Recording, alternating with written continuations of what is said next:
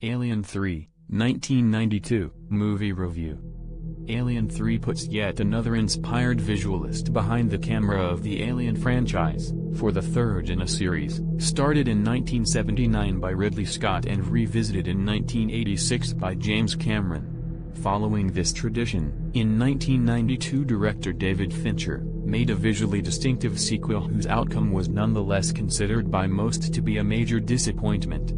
Each entry in the franchise is set apart by the ingrained personal style of its director, who in turn marries his own visual signatures with the atmosphere of their science fiction setting. Scott and Cameron both made superbly innovative films, whereas Fincher, an acclaimed music video director but first-time filmmaker, came into a maligned studio production and was forced to shoot with a limited budget and incomplete script, thus his vision is less cemented in the finished film.